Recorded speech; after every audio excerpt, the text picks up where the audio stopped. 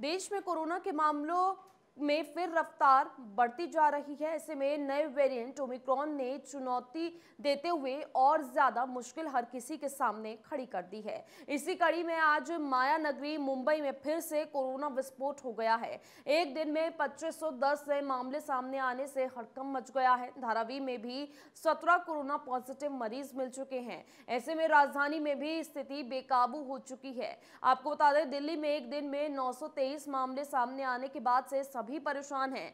संक्रमण दर भी एक दशमलव दो नौ प्रतिशत बढ़ चुकी है। ऐसे में राजस्थान की बात की जाए तो 217 दिन बाद कोरोना के सबसे ज़्यादा मामले दर्ज किए गए हैं। वहाँ पर संक्रमित मरीजों का आंकड़ा एक सौ इकतीस दर्ज किया गया है।